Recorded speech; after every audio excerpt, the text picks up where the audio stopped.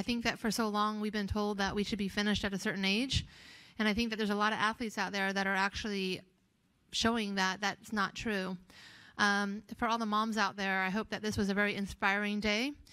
Um, I know that balance is my secret weapon, and that working at a great hospital in Boise, Idaho, and being a mom has been my secret weapon. It provides me balance, and it keeps me on track, and it keeps me super focused. I, I feel that this time around, I have a different kind of closure than I did before.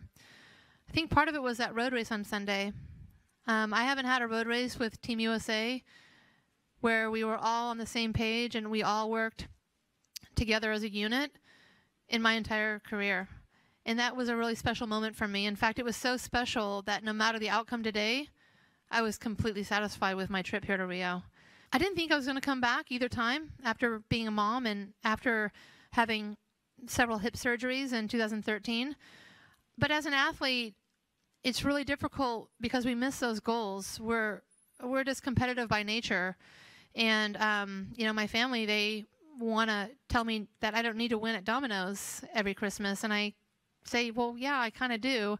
That's how I am. But I, I know that I can go out and I have a great message to share.